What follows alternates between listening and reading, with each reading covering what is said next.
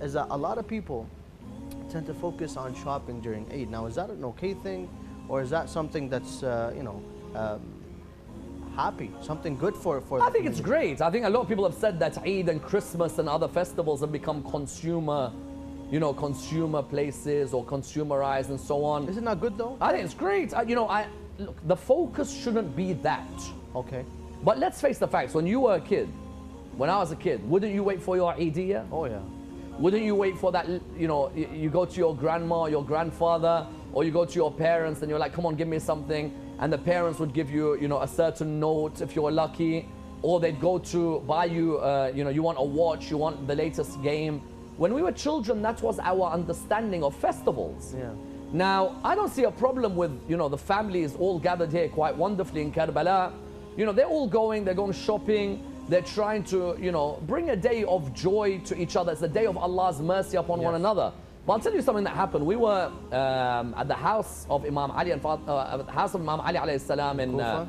in Kufa. Yeah. And um, while we were there at the house, myself and um, Murtada Kanani, the head of spiritual journeys, were sitting down, and this lady came into the room where we were sitting with the imam of the of the area where they pray, and she she inquired about something. The imam said to her that just wait outside, I'll get back to you. And we asked what is it, and she said she just wanted some money to go and buy her children some Eid gifts Wow. because they are so poverty stricken in some parts of Iraq that we might joke about, you know, having a Daytona or having Chrome Hearts or having Aventus. Creed.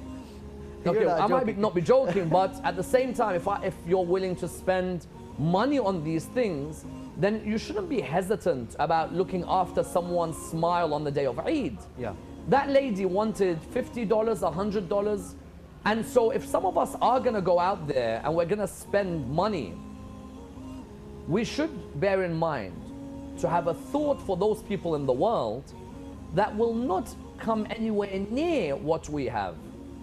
I'm not saying that you'll buy happiness on the day of Eid by giving someone money, but you could certainly rent happiness for that one day. Yes.